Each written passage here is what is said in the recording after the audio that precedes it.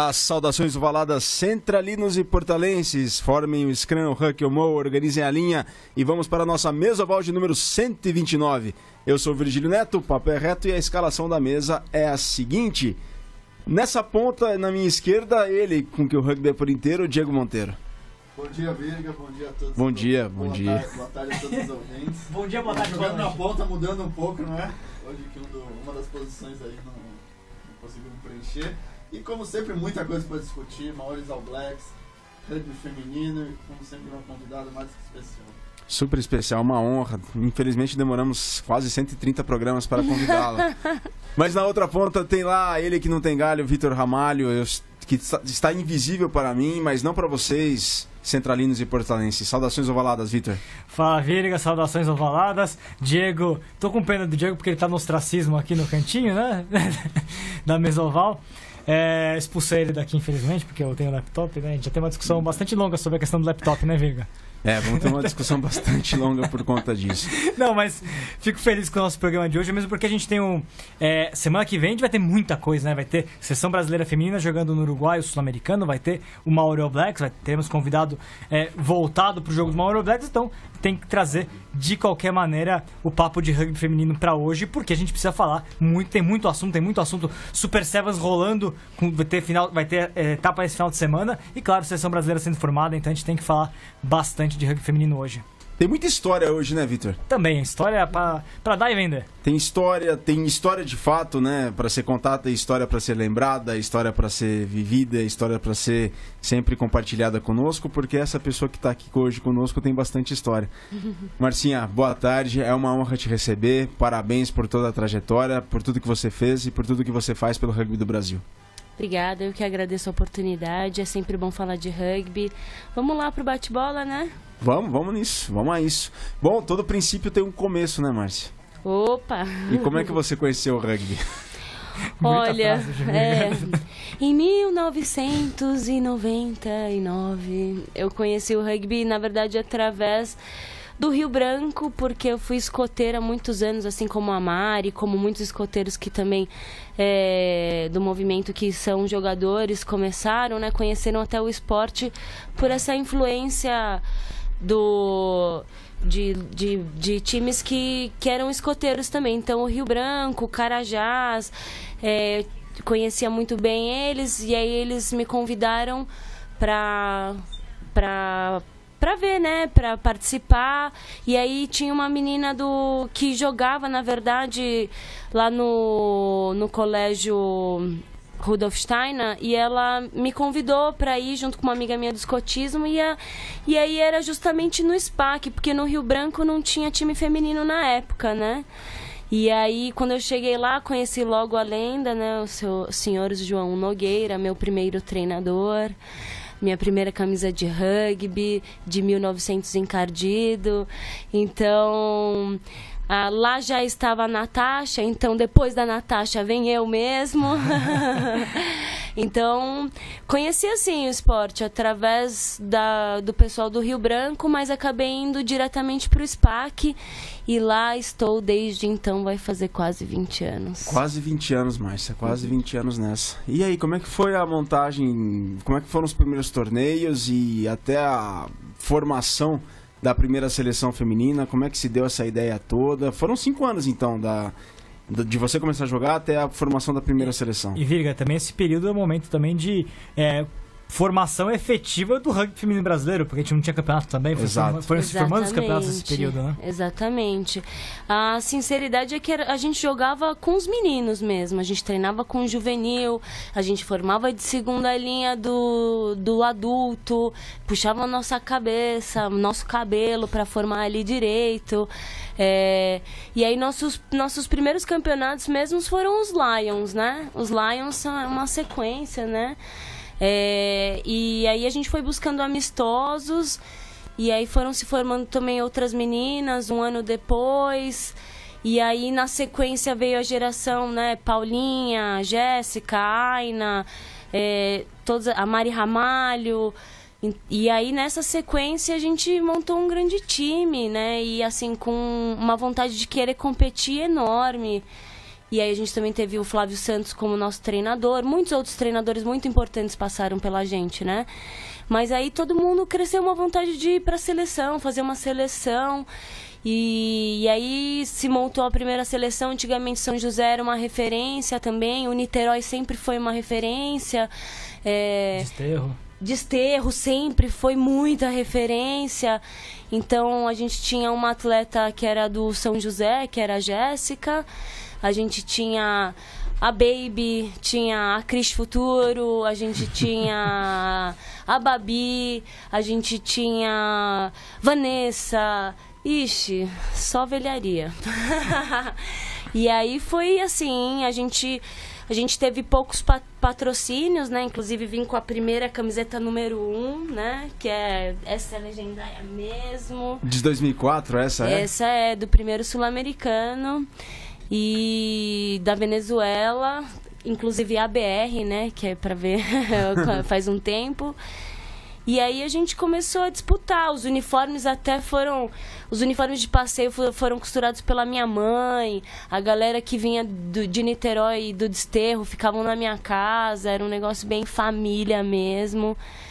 E aí, aí no ano seguinte eu tive alguma, algum, algumas lesões, algumas, alguns problemas, acabei indo, mas como manager, na sequência acabei rompendo os ligamentos e aí fiquei um tempo fora e voltei em 2010, acabei indo disputar o Universitário Mundial com a seleção. Mas lá eu rompi de novo os ligamentos do joelho. No, no Porto, né? Em Porto. Ô, ô Marci, lá no começo da seleção feminina, vocês tinham alguma resistência por parte, não da BR, mas o pessoal via, do teve ambiente, gente que né, viu com. Do, o pessoal viu com os outros olhos de uma maneira diferente a, a formação de uma seleção feminina? Como o Vitor falou, do ambiente com em si. Ah, então, acho que o, a, o rugby feminino sempre houve uma resistência, né? É um esporte muito. Não é masculinizado, né? Mas ele é um esporte muito viril.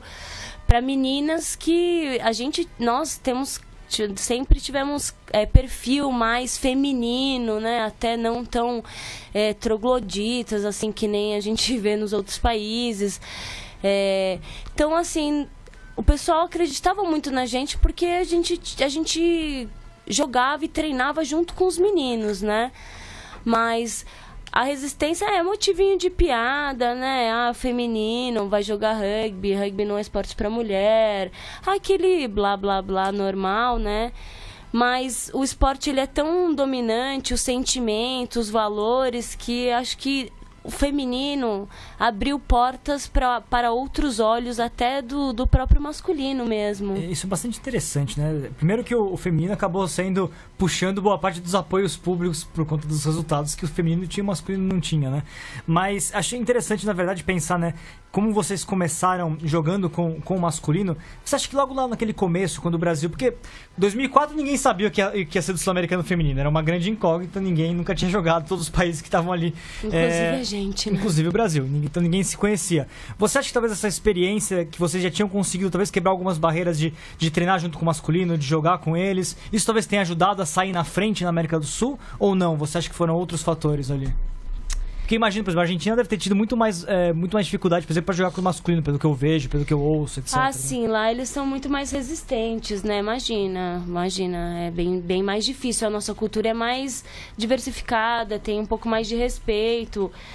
Eu acho que que ajudou sim a experiência das mais velhas terem, porque assim, também se a gente não resistisse a todo o preconceito e a todo o jogo duro e a e a questão da não é, não popularização do esporte, a gente não ia levar o esporte para frente. O sentimento era tão, tão grande e assim, a vontade que a gente tinha era tanta de jogar e ganhar. Não era só de jogar e lá vamos jogar. Não, a gente, a gente foi determinada, a gente foi para ganhar. A gente, em nenhum momento a gente não pensou em não ganhar. E como é que foi aquele sul-americano de 2004? Barquisimeto. Em Barquisimeto. Como é que foram? Contra quem vocês jogaram? O que vocês sabiam das outras equipes? É, foi ir pro escuro? Totalmente ir pro escuro, né? Foi totalmente ir pro escuro. É, a gente a gente simplesmente a gente foi jogar nunca tínhamos visto nenhum jogo delas é, não tinha esse recurso de mídia que tem hoje né É, a gente foi assim com assim querendo impor o nosso jogo do começo até o, até o final, é, querendo ganhar mesmo, levar o título. Então assim a gente viu em algumas seleções que elas tinham potencial, mas era mais um potencial que parecia um jogo de 15, sabe? Era um jogo mais penetrante, não era um jogo aberto, fluido. Falta de compreensão dos Sevens em si, Falta talvez. total. Até hoje eu acho que a gente sofre, né, a falta de compreensão. É, falta um pouco do 15 no Sevens para as meninas, assim como falta um pouquinho do, do Sevens para o masculino, assim, num geral, para para ter um jogo mais fluido. E quem deu essa noção do jogo pra vocês, Márcia? Ah, foi o Flávio Santos, com certeza. Com certeza a gente teve a gente ficou, a gente teve muitos anos de trabalho junto com ele, né? E ele realmente que deu essa noção mesmo pra gente do Sevens, do jogo, do jogo aberto. Ele tinha uma visão já um pouco mais à frente do que a maioria das pessoas aqui no Brasil, né? É, e estamos ao vivo aqui no Facebook Live do Portal pela Central Se 3. bobear, ele daqui a pouco entra aí. É, se bobear. É. Ó, o Bruno Oliveira tá conosco, Camila Rahamad, Marcinha Musa Sem Defeitos, coloca aqui. John Leno Rodrigues deixa um emoji com os olhos de coração. A Marjorie, Marcinha Rainha, o resto nadinha, já diria o poeta. A Mari Ramalho tá assistindo, Bruno Oliveira, Nilva de Fátima Gesser, tem muito disso e ela bate palmas. O Ivan Mendes, amigo, também tá na audiência aqui com você na Central 3, no Portal do Rugby, ao vivo. Márcia. Miller, A Mari das... que já teve aqui recentemente, né? A Mari já É. esteve aqui recentemente. Uhum. E como é que foi essa campanha lá? O que, que você se lembra mais desse primeiro sul-americano, Márcia? Putz, eu lembro, eu lembro que a gente pegou um pôster do sul-americano que tinha só o time da Venezuela divulgando, né, o sul-americano e só tinha o time da Venezuela. E aí no meu quarto é o scrum, né, era eu, a Baby e a Vanessa. E aí a gente enforcou todas as jogadoras. Isso foi uma das coisas mais Um engraçadas voodoo, assim. tipo um voodoo nas venezuelanas, né? Que, que eram, é, assim, entre o Brasil e a Venezuela, também era uma das favoritas ali pelo jogo contundente de força física, peso, né? É, o contato em si, né? Mas a gente fez um voodoo mandinga lá que o negócio vingou. Hoje a seleção da Venezuela, Vitor, não tá nada, nada forte, né? Até não, não, não viajou recentemente para um torneio, né? É, o feminino ainda resistiu, né? Elas jogaram o, o Hong Kong do ano passado, Foi, né? foi. Foi. Mas, mas é, tá complicado pra elas, né? Com certeza tá complicado pra elas. Porque, enfim, Toda- tem sim, dificuldades pra viajar e etc. A seleção masculina não, não conseguiu visto pro Sul-Americano B agora, Foi. né? Pra, pra jogar na Guatemala, então... Exato. E aí, Márcio, Ah, então, foi- só deu os placares do 2004 aqui, Vitor. você tem os placares aí? Primeiro jogo, Brasil 42, Colômbia 0. Olha só, E aí, 51 a 0 no Paraguai, 50. 33 a 0 no Uruguai, 33 a 0 na Argentina e o 15 a 10 contra a Venezuela, que foi o jogo, né? Foi, Tinha foi. muita torcida contra ali na final?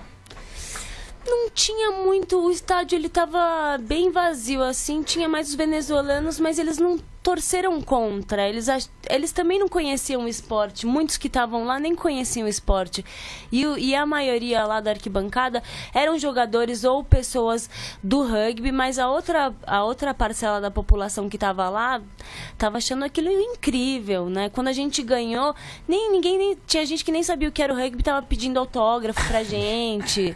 Era uma coisa louca. Foi disputado com algum torneio masculino junto ou foi só exclusivo Não, feminino? foi só o, foi só o feminino. Foi Ele só, vai, feminino. ele só vai ser junto em 2000, a partir de 2006 ou 2007, se eu não me engano. É. Deixa eu conferir aqui. É. Aqui aí eles fizeram alguns torneios juntos, né? Conjuntos. 2009 no Brasil foi junto, né? Enfim. Uhum. Mas depois também voltou a separar, né? Agora é separado de novo. Né? E ô, Márcia, Sim. a Camila Ramad pergunta aqui: quero saber qual foi o jogo mais duro que a Marcinha participou. Uau, gostoso. Duro, né? É bem forte pra ter graça, né? Adoro. Mas muitos jogos, eu acho. Esse, esse da Venezuela foi um, foi um bom jogo. Um que me marca muito não foi nem com a seleção, mas foi uma final. É, SPAC versus Niterói. É, assim, um clássico. Duas, ve dois, dois, duas vezes, né? Os dois. Um que a gente perdeu e o outro que a gente ganhou. Então, assim, acho que é, são jogos. Foram jogos bem marcantes, assim, para mim. Acho que 2013. E falando, falando de SPAC, né? É, você também ajudou a construir aquele início hegemônico do SPAC. O Niterói fez frente, fez campeão acho que no primeiro ano, né? Depois deu SPAC é, quatro anos seguidos. Sim. E, mas de qualquer maneira, o SPAC foi o primeiro, talvez o primeiro grande potência dominante do, do rugby feminino no Brasil, né? Até começar a diversificar mais, né? Aí agora, agora não, ficou uma loucura, né? Porque tem vários times Fica, concorrendo pelo título. uma loucura. Mas teve um período que o SPAC era o time a ser batido. Né? Hegemônio era. É assim, começou, eu acredito que assim, na mesma época tinha. Era o Desterro, o Niterói e o SPAC. E aí o SPAC a gente, assim, do nada a gente foi fazer umas divulgações nas escolas e aí a gente captou, capitalizou a Paulinha Chibacha, a Ah. Jéssica Santos, a Aina, eram do bairro, a Nayara, meu, só lenda. E aí a gente, assim, se entregou. A gente vivia no clube, a gente fazia o futebol pra pegar as meninas do futebol pra jogar pro rugby. Do clube mesmo, só Do clube, Teve é. alguém do futebol que foi pro rugby? Olha, não, acabou não indo, viu? A gente até jogou, a gente jogou algumas copas pelo futebol, mas ninguém acabou ficando no rugby. Mas assim, foi divertido, foi massa. E a gente dobrava treino, ficava lá.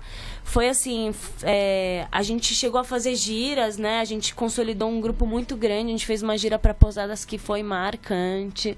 Tipo, primeiro jogo internacional de 15. É, te atropelou o time lá O- do o SPAC Chaco. mesmo, né? É, o SPAC. A gente atropelou, foi 43 a 0. Foi a primeira vez que vocês jogaram 15 esse, essa ocasião? Foi, essa ocasião é valen, valendo 15. A gente jogou, foi animal, foi joguei de 8, gostoso, foi maravilhoso. Você teve naquela, na gira que... 2008? 2008? não, não, não, não. tava, eu tava com os ligamentos rompidos, eu tava em off, não fui pra essa gira aí. E como é que você rompeu o ligamento? Então, eu rompi num jogo. Na verdade, eu rompi duas vezes. Na verdade, eu tenho três cirurgias, né? Então, de trás pra frente, eu rompi no aquecimento em Porto, né? Quando a gente tava com a seleção lá em Portugal. E de- antes, acho que foi, não sei se foi 2008, se foi 2007, agora não me vem na, certamente. Eu rompi num jogo com um time nada a ver, tipo Taubaté, alguma coisa. Uma menina me tacleou de um lado e a outra me pegou nas pernas do outro e aí. Rugby League. Tipo isso, basicamente. E o outro foi é, foi em treino mesmo. Foi no treino, eu torci sozinha e acabei rompendo. E aí me custaram aí uns anos, mas estamos aí, né? Anos que você, na verdade, acabou também canalizando para outras atividades no rugby, né? Sem dúvida. Desenvolvimento, evidentemente. O Virga, vamos falar um pouquinho de RPT? Vamos, vamos, espera lá. Pera, Ah, antes de não chegar lá, antes chegar lá. Eu- Diego, eu- dá a palavra pro nosso Deus Não, aqui. não, o pior é que eu ia perguntar isso mesmo. Falar agora, você fala um pouco também como você chegou no. Calma, calma, vamos chegar lá. Nós vamos chegar lá porque tem uma história que faz com que ela chegue Ah, lá. então pronto. Não, mais ou menos, né? Essa história, essa história é o rugby mesmo, né? Eu conheço o, o Mal, né? E o Pra quem não Fabrício sabe, quem é que é o o meu Mal? marido, né? É, ele. A gente sempre foi amigo, desde que eu entrei no. A gente entrou, né? Eu comecei a praticar o esporte, porque ele já pratica. Se eu pratico 20, ele deve praticar tipo 35, alguma coisa assim. Jogando até os 40 aí, É. né? E, e aí eles, eles tinham muito. eles sempre falaram em montar, montar um, uma- um desenvolvimento, um, na verdade, um rugby social lá na comunidade do Paraisópolis. E assim, logo que nasceu, eu aceitei o convite, mas eu já eu numa pegada seleção, fazendo estágio na faculdade, tava do- dobrando estágio. E aí eu fiquei só por seis meses, onde o campo era de barro, era puro barro, era assim, era outra estrutura, não, nem, nem perto, não tinha nada. Era eu e o Fabrício Maurício subindo com uma garrafa, um galão de água, com um copo descartável pra dar um treino, assim, é, despretensioso pra criançada lá, mostrar um esporte. E fui assim, o cenário, o cenário era interessante, é bem diferente do que era hoje, do que é hoje, né? Criança se xingando, se bate, ah, não sei o que, uma coisa louca. Mas hoje é bem diferente. Aí eu acabei depois me afastando um pouco. Enfim, Aí. Você já ness- namorava o Aí Maurício, nesses né? terceiros tempos, não. Aí nesses terceiros tempos da vida, né? A gente vai. A gente se perde numa esquina, numa outra, acha um coração ali. E aí ele me conquistou, né? Aí foi difícil, né? É, é muita, é muita afinidade, né? Então, Muita história junto, né? Muito, Entendeu? muito. E aí você muito. volta pro projeto. Então, eu volto, na verdade, o que acontece em Porto, é, quando rompi o ligamento, eu falei, agora acabou, não quero mais, é, assim, não me vejo mais dedicando minha vida, né, assim, pro, pro esporte. E aí eles me fizer, refizeram o convite pra voltar. E aí, nesse, nesse volta, eu voltei, voltei com tudo, com muito amor. E aí começa-se uma história de amor, né? E que vira uma filha que se chama Mariana e que nasce no Lions, né? Assim, no dia do Lions. Ela escolheu pra nascer. Meu Foi né? no dia do Lions? Foi, dia 11 de dezembro. Que ano que isso foi? De 2015. Foi Olha. 2015, uau. Sensa... é, bolinha, Emblemático, bolinha, disse. Emblemático. Bolinha. Emblemático. Simbólico, né, Diego? É, nasceu no Lions. Pois é. Ó, o Vinícius Vicker te pro- coloca aqui, parabéns pelo programa, parabéns Marcinho, um abraço pro Foz Rugby, Rafa Sanguinete lá de- do Recife, o Bom Filho Casa Torna, haha, voltei, abraço Virga e Vitor. Elton Tanis, quando treina com as meninas do Locomotivo é sempre produtivo. Elas apresentam uma percepção mais tática em circunstâncias onde meu primeiro olhar seria utilizar a força. Sempre aprendo muito com elas.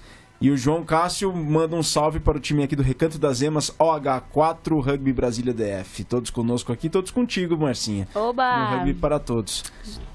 Bom, o. fa- Ô, fala, fala, Diego, Não, fala. e o Leões que foi campeão masculino da Série E. Sim. E que, pô, ela já falou, já cravou na Série A aí, depende aí do Renatão, em quantas divisões vai ter ano que vem. Mas Série A, acho que dois, três anos no... É, a gente tá aí, né? Os meninos estão aí. Se der a faca e o queijo na mão, a gente vai cortar e comer esse queijo com certeza. Isso, isso é um papo legal, porque no fundo a, a, o Leões, as Leoas, na verdade, tomaram a frente nesse processo, né? De criar, efetivamente, jogar o rugby para todos como um, como um clube à Como um parte, né? clube. E conseguiu isso de forma meteórica, porque é, certo que o rugby feminino acaba, acaba proporcionando isso por conta do sistema de circuito, Sim. né? E etc. Mas não tem divisões, né? Infinitas. Mas é, assim. é isso. Mas isso, elas saíram logo na frente e, e foi, e foi logo dos primeiros, das primeiras. ah, foi o quê? O segundo ou terceiro ano jogando Não, como no Leoas? primeiro ano a gente se classificou no qualifying. Isso. No primeiro ano a gente já conseguiu no o quarto primeiro ano. lugar. Mas eu, eu sempre senti o pessoal do muito cuidadoso, não ir... Aquele, muitos clubes às vezes tentam ir com pouca gente, sem estrutura, jeito. de qualquer jeito e acabam quebrando a cara. Sempre os Leões não. É muito focado, não vamos quando a gente estiver pronto. Me É, lembra um clube chamado é. Jacareí. Fez a mesma coisa. É. Pouco a pouco, pouco a pouco, pouco a pouco, uma hora pouco chegou. pouco, é. é, com as meninas eu já trabalho há 10 anos, né? É, agora fez 10 anos, né? Desde 2010 até agora. Então, assim, todas essas atletas que estão comigo, assim, é, são uma parte de mim, né? Mexeu com elas, mexeu comigo total. E...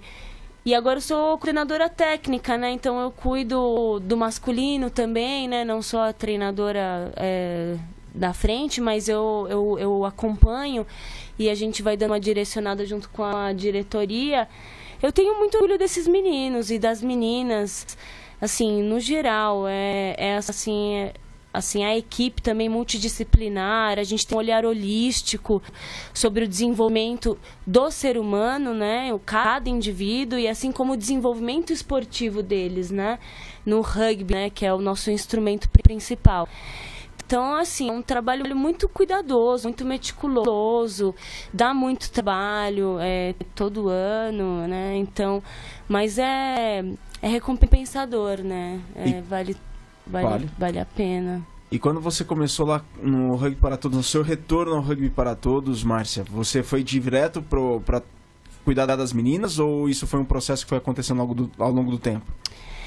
Então, eu logo caí, assim, eu sempre pensei que, que eu fosse ser treinadora dos meninos, porque eu não tinha muito paciência com as meninas, até no treino, né? Então, assim, falou de unha no treino, era me dar um soco. Ai. Então, assim, mas logo era a necessidade principal era o feminino. Ou vocês sempre tiveram feminino e masculino? Sempre. Sempre a gente começou da base, né? Então isso eu acho que é o diferencial. Você realmente galgar os degraus de baixo, né? Ah, não, não, eu tô perguntando, não começou primeiro masculino e depois foi pro feminino? Não, não. Eu já fui direto pro feminino. Hoje em dia que eu tenho uma atuação é, no masculino também.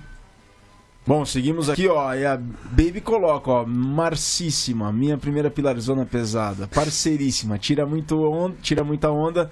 Parabéns, loirona. Né, baby. Amo muito. Vitor, você estava falando das carreiras que a Márcia passou por todos os estágios ou todas as funções dentro da. Ah, do. Já jogou pelas Leoas também? Na verdade, eu joguei um beat esse ano for fun, é, mas não joguei ainda no circuito valendo. Não joguei ainda, não. Gostaria? Tem planos pra entrar em campo com as leoas em algum Eu- momento? eu- os meus planos atuais é, é sobreviver, né? é, é ser mãe, é, um- é um- é uma coisa complicada, ter que treinar, né? E aí você entra, você tem toda uma responsa ali de performar e tal.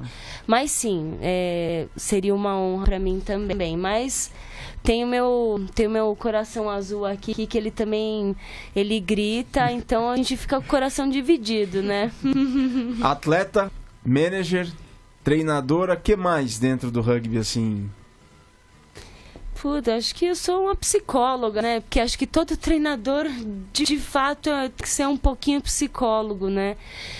E mulher, mulher gosta de falar, né? Mulher gosta de falar muito, é, de- de colocar as coisas, então você tem que se sentar, é um... Assim, é uma democracia, mas é recompensador trabalhar com as meninas, porque elas realmente dão um retorno, né? E quais- que- como é que você enxerga esse trabalho junto com, com, com as leoas, com os leões? É, quais são os desafios para cada um ali? O que, que você vê de, de mais, de mais complexo para você trabalhar e pensando no futuro das leoas e pensando no futuro dos leões? Quais são os desafios maiores aqui? Eu acho que, apesar do feminino a gente ter, es- estar atualmente no como as oito melhores, a gente, que nem você disse, a gente ascendeu muito rápido, né? É, e isso também é, traz um déficit, porque assim, o rugby feminino no Brasil, ele de- demanda de muitas meninas e a lesão é inerente do esporte. Então, assim, além da gente, eh, de nós sermos um dos times que sofrem por conta das nossas atletas na seleção, a gente passou por um ano com muitas lesões. E aí a falta do elenco, né, que repõe, isso causa um pouquinho de desconforto, assim, né? Então acho que o principal é esse ano a gente tem, ah, gostaria de falar isso, esse ano a gente tem uma a gente tem uma parceria, na verdade, que não é uma parceria, né? É a mulher o Kentaro, não sei se vocês conhecem a Mari, que era a ponta da seleção japonesa. Sim, sim. Ela tá treinando com a gente desde o início do ano. Ela jogou a última etapa com a gente. Ela, assim, é um fenômeno. É, assim, ela vem bem a encaixar no nosso time porque é uma menina que tem experiência, uma visão de jogo é, melhor. Então, assim, a gente busca um, é, umas atletas também que componham o nosso time, porque o nosso time é muito novo, Talvez né? um papo que fizeram Raquel e Luísa até o ano Isso. anterior, né? É assim, se a gente tivesse a Bia e a Leila, é, é, a gente talvez tenha, não precisaria tanto, porque apesar de elas serem novas também, elas já jogam também dentro de um alto nível. Sim. Mas para controlar o jogo, a gente tem a, a nossa capitã é fenomenal, o nosso time inteiro é, é fenomenal, mas nosso time é muito novo, então O- carece um pouquinho, Você, né? você fala desse novo, você também fala que as equipes mais jovens, principalmente do masculino, tiveram muito problema com o tamanho, equipes menores. Vocês têm. Sim, sim. É, a gente tem um embate físico é, é complicado pra gente, né? Assim, a gente, o nosso sistema de jogo ele privilegia o jogo aberto, o jogo de mão, é, é, assim, não só no feminino, como no masculino também, né? Mas no fe- feminino a gente tem mais essa necessidade e a gente se dá muito bem nesse, nesse ponto de vista, principalmente nos sevens, né? O masculino, o masculino ele ele também é muito novo, né? O mais velho, é, o, o mais velho tem 25 anos, que realmente é dos leões, então assim, é uma geração muito nova e que vai que tá aprendendo muito e que que vai acender muito ainda. Vai ter muito rugby, tanto de qualidade quanto o For Fun, né? Vou Family. engordar também. É, o Family Rugby. É o Robert o mais velho? Não, acho, acho que o mais velho é o Edmo, é o vovô. O segunda linha. Vovô. é. E, e aí a gente. No, no feminino a gente pensa em colocar realmente umas peças para ajudar no, a degalgar esses, esses graus aí para as leoas atingirem o, a performance máxima né, né, nos próximos anos. Então, assim, nós, nossos dois times são times em desenvolvimento, tanto o masculino como o feminino, né? Mas a gente acendeu primeiro porque ou o time é, se separava para jogar em outros clubes, é, como a Leila teve que jogar no SPAC depois que fez 18 anos. O e Pasteur tem um longo histórico masculino, né? Isso, é. Ou a gente, ou por uma vontade delas e nossa também, né? Era jogar como um time, mas essa vontade veio deles mesmo, veio da comunidade, veio dos leões mesmo. Que bacana. E aí a gente, a gente fortaleceu. Mesmo sabendo, assim, é, dos desafios, que não são poucos. As leoas existem desde quando? As leoas, elas jogam, as leoas são é, tricampeãs brasileiras juvenis, elas jogam desde 2000 e... primeiro campeonato efetivo mesmo foi em 2012. Mas, mas elas já jogam desde de 2010, né? Logo que eu entrei, eu já assumi um time que já, já a gente já colocava para rodar mesmo, para jogar. Galera, a gente está na metade do nosso Mesoval de número 129. Obrigado a todos vocês que estão na audiência conosco. Estamos ao vivo pelo Facebook Live do Portal do Rugby, aqui sempre pela Central 3. Mati, falar do Apoia-se um pouquinho. Pegar você de surpresa, foi É, mal. não, tranquilo, Virga. É, se você gosta né, e acompanha a Mesoval e as outras produções aqui da casa, entra lá no apoia.se barra central 3 com numeral e saiba como apoiar. Galera, obrigado a vocês. Mandem suas perguntas aqui para Marcinha, para toda a galera da Mesoval que está conosco.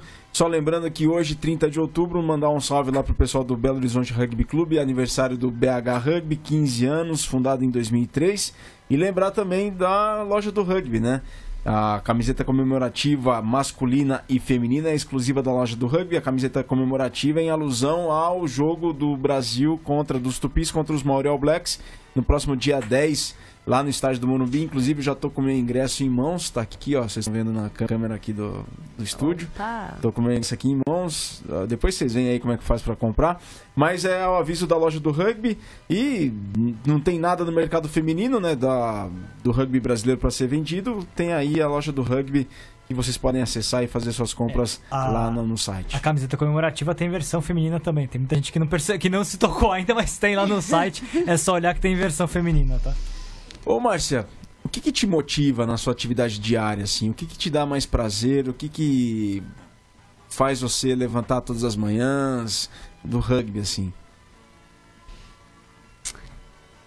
Ah, eu sinto uma gratidão é, muito, muito grande, assim, eu, quando o rugby foi um, foi um pilar na minha vida, na minha vida inteira, assim, mesmo estando é, de longe, né, todo mundo faz um ciclo, tem que descansar um pouco ou fazer outras coisas da vida, mas é, eu sempre encontrei muito muito carinho, muito amor, muita troca, muita experiência. É, o rugby social também ele me motiva como ser humano, porque é uma coisa que eu sei que eu posso dar como ser humano, né, para a sociedade. Então isso assim, os, os meus amigos, minhas amigas, são praticamente meus irmãos mesmo. Então acho que é a gratidão acho que é o que mais me motiva, a gratidão e o amor, né? E eu assim, é o que eu mais gosto. Eu acho que é um, um esporte muito viril. Eu gosto muito dos esportes que são de contato, jiu-jitsu. Eu gosto dos esportes que são mais é, mais emocionantes, vamos dizer assim, que causam mais emoção, Adrenalina. adrenalina. Fiz muitos esportes radicais também, escalada, rapel. Mas o rugby tem uma troca que não tem. Os valores me motivam muito, né? Você sabe que, que isso tem retorno, né? É uma gratidão pessoal. O rugby te dá uma família, né? Sim. Uma família de fato. né? Uma De família verdade. de fato, de verdade. Não, tudo é família, mas assim. Tudo, como- sim, um marido, uma filha. Sim, isso você já falou tudo. Com certeza me deu uma família, que é um dos sonhos de toda mulher, quase toda mulher, né? Deseja ser mãe, ter um bom marido. Eu consegui. E ô Marcinha, você nunca mais, depois daquela, daquele torneio universitário no Porto, você nunca mais voltou a se envolver com a seleção? Em nada. Nada. Não, nunca mais. Não, não, nunca mais. Nunca mais me envolvi em nada, não. Eu realmente foquei assim, os meus esforços para ser treinadora mesmo. E como eu entrei no rugby para todos, eu acabei, você acaba sendo envolvido. E quanto mais você faz, mais você quer fazer, principalmente para criançada, né? Aí eu acabei sendo pega. Marcelo, isso é, uma, isso é uma questão muito interessante, na verdade. Você acha que ainda estamos. A gente, é, acho não, a gente, olhando né, o, quadro geral, a gente ainda tem um caminho para percorrer também na formação de treinadoras. Né? Como é que você enxerga isso? Porque a gente tem agora algumas treinadoras aparecendo, inclusive com, com os times femininos se, se dando bem, mas ainda tem um caminho longo para a gente ter um- um- uma quantidade de treinadoras é, mais interessantes. Isso talvez pelo fato de a gente ter menos veteranas, né? É, o rugby feminino ainda é jovem. Sim, apesar eu vou te, vou te pontuar outra situação que eu acho que é muito deficiente, a falta do nosso jogo de 15, né? A falta do jogo de 15, é, ele, ele cai. é, você não tem como. O fato de jogar ou de, de se propor fazer só o treinamento ou o curso da CBRU ou um curso ali, ele não te, não te dá a cancha necessária para você ter uma visão do rugby 15 e que ela é fundamental para você jogar até os sevens. Então acho que isso é um dos motivos no qual é, não, não se tem tantas treinadoras. Acho que o outro motivo é pelo mesmo motivo de ser um esporte masculinizado. Você entrar, por exemplo, você vai num curso na Argentina e entra uma mulher para fazer um curso de coach, assim, é complicado, né? Complicado. A referência é bem, é bem diferente. Agora, é, acho que o principal mesmo é esse fator. E a experiência, a gente não tem um campeonato de 15, é muito deficitário, né? Interessante porque, é, olhando, impressão minha, né? não tenho nenhuma base a mais pra falar além da minha impressão, mas parece que a gente evoluiu mais no quesito é, árbitras do que treinadoras Ah, nesses últimos anos. Concordo. É que é difícil também, né? Você. Eu falo, falo pela minha experiência. Ser treinadora não é fácil, porque qualquer treinador que seja homem, as meninas vão achar, inclusive eu, eu tenho a predisposição de achar que se for um homem vai ser melhor do que uma mulher. Então, assim, é um preconceito mesmo. Mas também é antagônico, porque no nosso país as mulheres são muito ativistas, né? Então, assim como na arbitragem, é, elas deveriam ser, é, pôr né, mais os punhos para fora e, e tomar essa frente de serem é, treinadoras mesmo. Porque qualidade, eu, eu vejo que a qualidade da arbitragem feminina só aumentou depois que as nossas veteranas começaram a parar de jogar. Porque é muito difícil você pegar uma pessoa que não joga e colocar no meio para entender o jogo, tanto na arbitragem como treinador. Sim, vai ser difícil. Já para quem é, já é difícil. Para quem não é, é mais difícil, né? Sim, sim. Ó, o HP coloca aqui, só antes do comentário, porque tem a, a pergunta tem a ver com essa questão do, do rugby de 15. Mas o HP coloca um comentário aqui do Edmond, que ele deu um chute magistral por trás da defesa do Jacareí para o quinto try dos Leões, é um segunda linha com bastante habilidade. Ah, o HP tava Sim, cobrindo a, a, tava. a final. Uhum, tava. É, o vovô, o vovô é sensacional. É vovô, né? Mas ele tem 25 anos, tá, gente? E a Marjorie pergunta aqui, Márcia. Como, qual você sugeriria como sendo um primeiro passo para termos rugby 15 no Brasil feminino? Olha, a gente já galgou alguns degraus, a gente fez uma iniciativa esse ano, é, eu, a Natasha, a Lúcia. é, A Lúcia lá do, do Charrua. Sim. Só que não foi pra frente, né? A gente fez, a, a gente montou a clínica, a gente quis, a gente divulgou, mas não teve inscrição suficiente. Por quê? Começo de ano, aí meio de ano tem o Paulista, aí porque não vale nada, o pessoal não se compromete. Aí muita gente fala que quer, mas chega na hora, não faz inscrição. Então, o número mesmo das pessoas que se comprometem realmente vão atrás mesmo. Acho que os primeiros passos é todo mundo se sensibilizar da importância do 15 no jogo feminino para construir um melhor rugby Sim. daqui para frente. É uma transição difícil também, porque os clubes acabam se adaptando ao próprio tamanho da modalidade. Então é difícil um Sim. clube feminino que tem 10, 14, aí pra fazer um, um time de semis com mais de 14 meninas já começa a ficar. Então acabam eles mesmos se limitando Sim. o tamanho. Eu acho que deveria se montar um festival de 15, né? Então, assim, de repente a gente faz um festival que nem o Lions é um festival, né? Não como o Super Sevens, né? Seria um festival de 15. E aí jun- juntaria, tentaria juntar, né, Curitiba, Desterro, né, o Sul, e aí com o Sudeste e fazer um festival mesmo. Eu acho que isso seria mais fácil do que a gente propor realmente um campeonato, porque Isso é demanda de muita gente, né? Festival talvez É, mas- Fazer, é, com- às vezes com tempo, jogos com tempo reduzido, aí faz três, É, quatro mas jogos você- cada um. Sim. Sim, mas o que você falou também que é um pouco falta de, de objetivo. Às vezes você tem no campeonato, conseguir montar, mas se ela tenha três equipes do campeonato paulista de 15, aí já comece a atrair mais as pessoas, aí É. seu time. Pode ser o primeiro campeão paulista de 15 primeiro feminino. já É, pra- uma- 2016. é, pode ser, a Foi gente pode Branco. gerar é uma boa discussão. Pessoal, vamos gerar, vamos fazer uma, uma taça feminina de 15, valendo uma taça pessoal. É porque se você põe taça, todo mundo. Todo mundo quer, ó, vai ter terceiro tempo também, isso é importante. Pode tomar cerveja na 15, taça, é bater foto com a isso. taça. Hum. Isso, pessoal, vamos se motivar pra gente continuar e não parar os nossos esforços aí no 15, porque é muito importante a gente se ranquear mundialmente no É, 15 isso, também. É, tá, eu já vou emendar, que a gente falou, você jogou tanto tempo pela seleção feminina e tal. O que você acha que falta pra seleção feminina dar esse próximo passo técnico é, no rugby mundial? Será que talvez seja essa falta do 15? Eu acho que sim, eu tenho plena convicção de que sim. Jogar até, de repente, campeonatos que são melhores, né? Na França, na Inglaterra, Canadá, é, fazer é, giras mesmo de 15, porque eu acho que esse é, esse é o grande que da questão. Eu acho do feminino também subir um degrau. Não ficar restrito apenas nos sevens. Eu acho que a gente é muito refém dos Sevens e é muito refém só dos treinadores que vêm, né?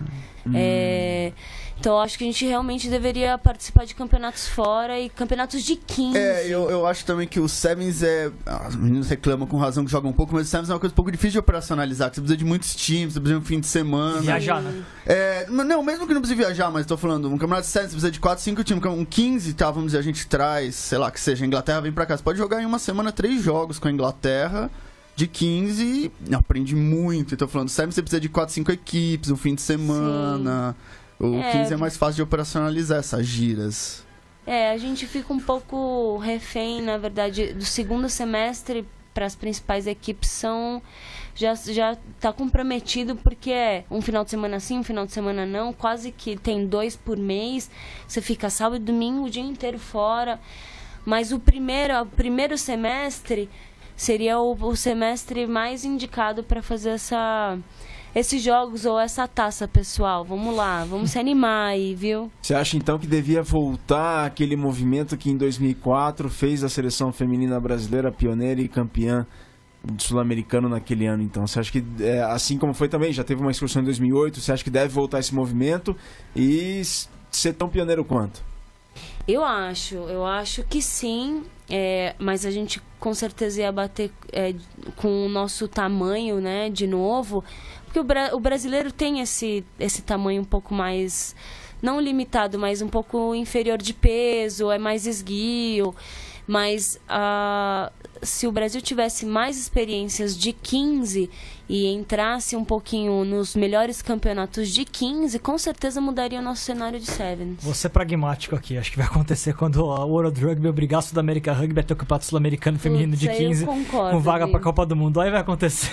É, Porque pois já é. é. um movimento que acontece no mundo inteiro. É o não único- vai demorar é pra acontecer isso aqui também. A América do Sul é o único continente que nunca jogou a Copa do Mundo feminina de 15, Sim. que nunca teve um campeonato continental de 15. O- eu, eu, Ásia teve, África teve. Sim. eu acho que a seleção brasileira de 15 teria uma ascensão meteórica hoje, com jogadoras que tem talvez encontrar uma outra menina um pouco maior É pra a botar um pouco questão- de peso, mas acho que seria uma seleção de 15 hoje É, a- fantástica. A questão é que a, a Colômbia já vem desenvolvendo o 15, pelo que se relata aí, pelo que a gente vê. Então Sim, talvez elas têm tivessem essa vantagem, né? É, francamente, a Colômbia é uma coisa que eu sempre ouço todo mundo falar, não, a Colômbia, a Colômbia, a Colômbia, e ainda, que nem o Vitor com as meninas da Argentina, que o Vitor promete há uns 10 anos que elas vão dominar o mundo.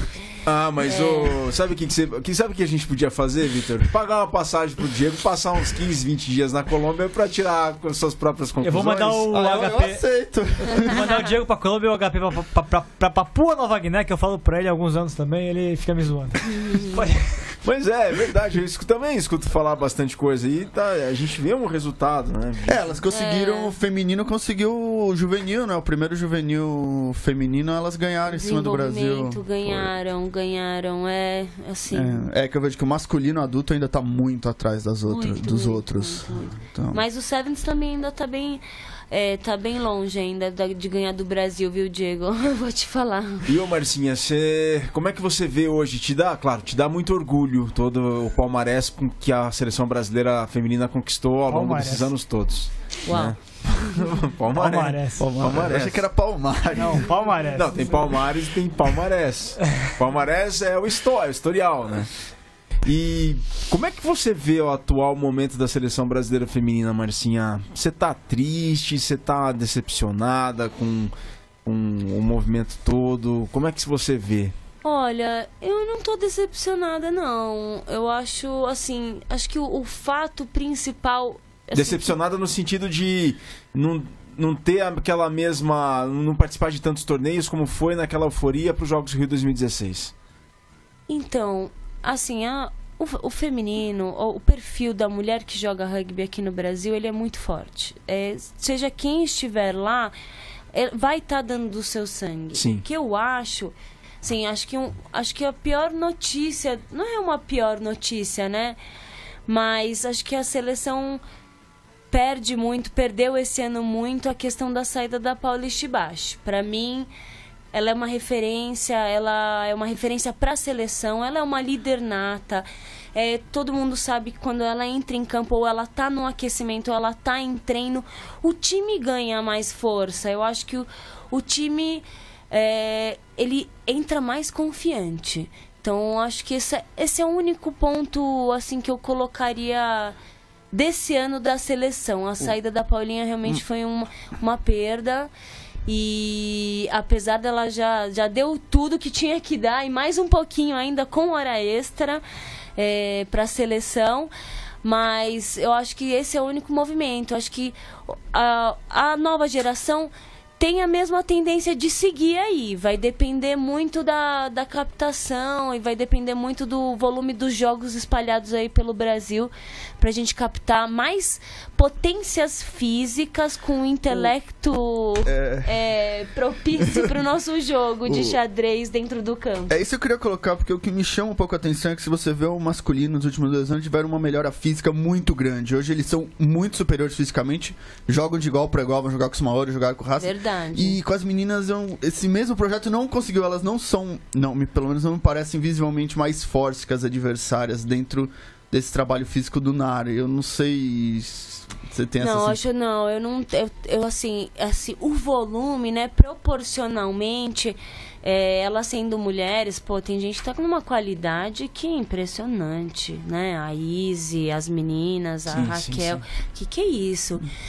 Eu acho que elas tiveram, sim, uma boa melhora. A gestão é muito boa do feminino. É, eu acho só que falta um pouquinho mais de incentivo pro desenvolvimento juvenil. Porque trabalhar o, o, os- o campeonato só o Super Sevens ou trabalhar só a seleção é, tem, vai ser temporário, né? Então acho que o que vai faltar, o que falta mesmo é esse trabalho do desenvolvimento que está sendo feito um pouquinho hoje em Mas dia. era, eu, pra mim era sempre algo um pouco natural uma queda, porque a- as Olimpíadas foram uma troca de geração mesmo. de geração, todos os times, por melhor que sejam, sofrem um pouco nesse. Sofre, mas eu acho que eles vão. A, a nossa seleção vai manter o nível, sim. vai trazer essa décima quarta taça para nós aí do sul-americano. A gente vai, olha, sem dúvidas. é, vamos enforcar também o pôster da Argentina ali para fazer uma mandinga doida. E mas é, eu tenho confiança assim no trabalho da seleção feminina. Eu vejo eu vejo assim que falta um pouquinho mais de é, de potência, de mais massa é, muscular, né, é, nas meninas, devido ao tamanho, peso. Mas acho que as meninas estão indo no caminho certo. É, eu achei, é, só pra esclarecer o pessoal, né? A gente ainda não tem a tabela de jogos do Sul-Americano Feminino, tô esperando, espero que eu possa publicar em breve pra gente saber qual vai ser o caminho do Brasil aí rumo a esse décimo, é, décimo terceiro? Décimo terceiro. Décimo terceiro ou décimo quarto? Não, gente? décimo quarto. quarto. Já quarto. foi, Foram dois foram outro ano. Ano passado, décimo terceiro. É, foram dois- foram dois torneios no mesmo Isso, ano. eu falei certo. Você que Exato. me confundiu, Não, eu hein, confundi. Vitor? Não faz assim. Fiz a conta de anos, mas é que teve dois no mesmo ano. Pois e, é. é, e, e sim, é, e eu acho que que é, a Argentina é, é um- é um, evidentemente, um dos adversários e a Colômbia é o outro. E o Marcião comenta aqui, viu, Diego? Que o Marcião Hum. tá falando aqui que ele foi pra Colômbia, tá dando quatro anos pra ele E chegar ele falou lá, pra você viu? ficar quietinho. tá falando com brincadeira. Não, vamos esperar então. É porque o Vitor promete a Argentina já faz Não. quatro anos que a Argentina vai dominar o Eu, rugby. eu prometo. Colômbia no feminino pra pôr Nova Guiné no masculino. gente. Ô, Márcio, você falou um negócio que eu tô com a pulga atrás da orelha da saída da Paulinha Shibashi. Você acha que pelo menos a manutenção dela na comissão técnica supriria essa ausência também ou não? Se ela tivesse sido mantida, por exemplo, como peça-chave ou uma- dentro da comissão técnica do feminino.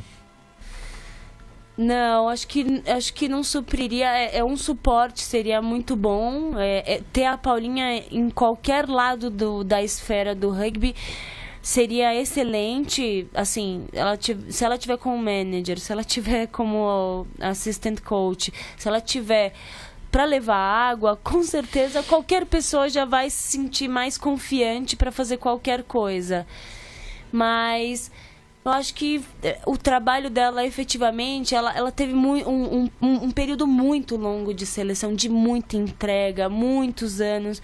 Acho que ela precisa também renovar as energias dela para dar o melhor de novo para onde for em que parte do rugby seja essa. Que no momento é no SPAC, mas eh, acho que ela precisa renovar o fôlego dela mesmo. O rugby, muito rugby cansa. Essa vida intensa também cansa muito, né, Márcio? Ah, vo- é você, é você é muito exigido e você se exige muito, você se dá muito, né? Você dá muito mais do que você recebe em troca, acho que a vida inteira.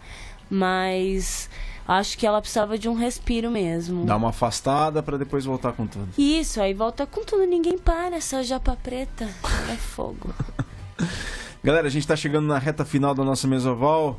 Vitor, você tem alguns detalhes pra passar do Super Sevens, do Sul-Americano Feminino, que acontece durante o Valentim Martinez lá em Montevideo no Carrasco Polo, correto? Isso, é. O Super Sevens eu não tenho ainda os detalhes, que ainda tô pra receber a tabela e publicar. Parece que vão ser só oito times, a gente tava até discutindo isso, né? Porque é, o, o SPAC e o Melina vão estar jogando a, a Superliga, uma competição nova criada pra se acontecer lá em Cuiabá. Então a gente vai ter um Super Sevens reduzido esse final de semana lá em Curitiba, mas tô esperando ainda a, a lista, né? Do feminino, da seleção brasileira feminina também, né? Isso que você falou vai ser lá no Valentim Martinez.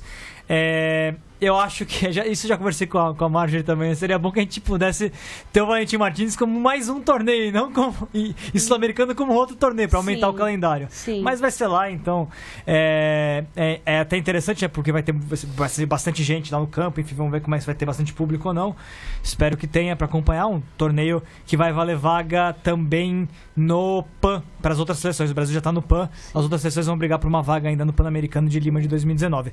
A Baby comentou aqui, viu, Virga? Falando, a, a defendendo o 15 também, a Baby tá defendendo o 15, é, que é mais democrático do que o Sevens, sim. E, e ela falou, né, do desenvolvimento que teve, a seleção brasileira de desenvolvimento que teve no Peru. Sim. O Brasil jogou lá no Peru também Sim, agora há sim, pouco. sim. É desenvolvimento, sim, né? Mas o trabalho de desenvolvimento ele tem que ser muito mais, muito maior, assim. Ele tem que ser muito mais disseminado. Ele tem que ter muitos polos para a gente conseguir realmente atingir um outro patamar. E ô Márcia, na história, na sua história como atleta, ou como treinador agora das Leoas, você tem um plantel especial, uma equipe especial que fez parte da sua história que você lembra com carinho? Você tem um momento, uma equipe que você ah, carrega tipo no... Dream Team, assim? Sim, sim, ah, sim. poxa, claro. Mas aí se eu esquecer de alguém, alguém vai me matar, né? Mas. ah, com certeza. A Natasha Olsen, minha outra, né, pilarzona roqueiraça. A Baby, a gente jogou muito. A Vanessa do Desterro, Cabeção, Cabeção, I love you. É, a Paulinha, obviamente, a Jéssica Santos, a Aina, a Mari Ramalho. Gente, é difícil, né? A Cris também já jogou muito juntas. Poxa, aí esse. A Maíra, a Mica, a Mica, a Micaela, com. Gente. São assim, a Baby, a Babi. Não dá, gente. É muita. É um Dream Team de 15, não dá pra ser Sevens. Gerações e gerações aqui. E olha quem tá aqui na audiência e mandou um recado pra você. Mandou um recado pra toda a mesa. O Werner, grande Werner Grau. Werner. Abração. Um abraço, Werner. O Werner, ex-vice-presidente da CBRU. Tem, lá, tem o seu papel dentro da CBRU, se não me engano, no Conselho de Administração. Ele coloca aqui Vitor Ramalho sabe tudo e Marcinha, ser humano e atleta incrível. Parabéns, Marcia. Ô, Virga, também só pra registrar aqui, o Harrison Nobre com a gente, Marcela Ruda também, abraço pra eles, estavam mandando comentários aqui também. Show de bola. Bom, estamos na reta final do programa. Diego, vamos repassar ontem. Vocês fizeram lá no Ovalados a seleção do Super 16. Eu tô com a lista aqui. A seleção do Super 16 divulgada hoje pelo Portal do Rugby, divulgada ontem dentro do Portal do Rugby através do Ovalados, ficou assim. De pilar primeira linha, Cara Gordo e Jardel. e de Hooker... Cara Gordo é o melhor nome da A história. gente vai fazer uma lista dos apelidos do rugby brasileiro. É. Sem dúvida. E de Hooker, o Valtinho da Poli. Segunda linha, o Presida da Poli com Minas do Charrua. Terceira linha, de Asas, o Gelado do da Poli e o Rodolfo do Curitiba. E o oitavo, o Ijão do Desterro. Médio de formação, vou adotar esse nome Aí agora. sim, hein? É o Bilks da Poli. Abertura, Cogueto do Farrapos. Nas pontas, o Maranhão da Poli e o Murilo do Farrapos. Nos centros, Varejão do Pasteur e o Gabiruta do Charrua. E de fullback, o Zé da Poli. E de treinador, o Marques do Charrua. Uma seleção que é a sua seleção. É, né? o Diego vai lançar o troféu Cara Gordo, não é isso? Varejão que é, começou no rugby para todos, né? Sim, o Varejão começou lá, ele conheceu o esporte por lá. Que bacana, que sensacional. E hoje na seleção é o Robert, na seleção brasileira masculina. Tem mais algum. Ronaldo, é, Ronaldo. né? Ronaldo, é, o Ronaldo, eles jogam na primeira divisão com o Pasteur, né? Mas eles são Mas no Na- é, do- mais que seleção, no NAR tem É, é uns no 3, Mar. 4, né? Tem, a gente tem lá. Tem o Brandon que tá fora agora, né? Que se machucou. A gente tem também o Joel. Tem no desenvolvimento o Joel Júnior, né, talento. O Brian. É, muitos talentos. Os, leões têm talento. vê, A pura ginga brasileira É. de verdade. E das E das Bianca, Leoas. Leila. Bianca, Leila, Sil, Riane. E assim. Aliás, a Bianca a gente não falou muito, mas é, falando do sul-americano, pra mim, é, da temporada, a temporada que ela fez com a seleção brasileira, os- todos os torneios, ela foi destaque, ela foi elogiada em, por tudo que é imprensa internacional. Sim. ela tá realmente num momento maravilhoso. Great try, Bianca Santos. Muito Na A narração artilheira, máxima do Brasil em Copas do Mundo de Sevens Sim. já, por conta do último torneio. Sim. Não, ela realmente. Ela, eu- o engraçado, ela sempre foi um destaque desde o M15. Ela, mas vamos lá, vamos voltar naquele nosso papo anterior. Acho que ela é um grande destaque porque ela foi uma das únicas meninas que começou a treinar com os meninos muito pequena. Então ela jogava M15 com os meninos. Então imagina um M15, uma menina jogando no nível que é hoje em dia o M15, você não pode colocar qualquer menina. Não. Então ela também se desenvolveu ali na base e ela já, já vinha, demonstrava um talento, mas ela já, nessa fase já, ela já treinava com os meninos. Fica a dica, meninas, nunca recusem treinar com os meninos. A categoria mais nova que vocês têm é o 15, ou vocês têm anterior? Não, a gente tem o Mais M9, a gente tem alguns M7, mas a gente tem o M9, o M11, o M13, o M15, o M16, o M16 feminino, né? 19 feminino. Isso masculino e feminino. Masculino e feminino. Só atualmente o M19 e o M17 eles jogam pelo Pasteur. Pasteur, alguns. É, e alguns não jogam, eles só treinam com a gente. É, e o M15 a gente disputa. O M15 e o adulto a gente disputa. O feminino joga todas como leões, né? M16, M19, todas as categorias como leões. Pra finalizar aqui, a Janete Aguiar coloca que o cara gordo é irmão do cara novo, é verdade, são irmãos. e eu já tem polêmica aqui, o Marcelo do Alibi, Batman do Pasteur fora dessa seleção. Incrível. Polêmicas à vista. O, Mar, o, Marcel, o Marcel que mandou pra todo mundo essa pesquisa aí pra votar. só que o Marcel não contava que todo mundo ia fazer igual. Diegão, considerações finais? Bem rápido, bem rápido. Então, é, agradecer a Marcinha, muito boa sorte aos Leões. Acho que é um dos melhores projetos, se não o melhor projeto que tem no rugby brasileiro hoje. E acho que, acabou, acho que é isso. Perfeito. Vitão, Eu queria, queria mandar, bom, mandar um, um abraço pro pessoal do Rugby League aí, né? O pessoal fez o primeiro campeonato brasileiro de Rugby League lá em São Lourenço, o Hugo organizando. Parabéns pra ele nesse processo de liderança do Rugby League brasileiro. Tivemos semifinais, né? Band vencendo, Tatuapé vencendo, tá lá no portal do Rugby os detalhes. Rugby 13, pessoal aproveitando, pessoal todo mundo é do Rugby Union, mas fazendo um joguinho aqui, um joguinho ali de liga é interessante também. Marcinha, muito obrigado por ter vindo. Foi sensacional sua presença, todos os seus esclarecimentos, todo o seu conhecimento, experiência e compartilhar com todos que acompanham a Mesoval. Muito obrigada, eu que agradeço o convite. Valeu. E as portas da Mesoval estão sempre escancaradas para você. Volte quando quiser. Obrigada, gente. Galera, próxima semana tem convidado especial aqui no Mesoval que antecede e faz o antejogo da Maori All Blacks contra Tupis no próximo dia 10 lá no estágio do Morumbi. A gente fica por aqui. Até a próxima semana, galera. Saudações ovaladas e um grande abraço.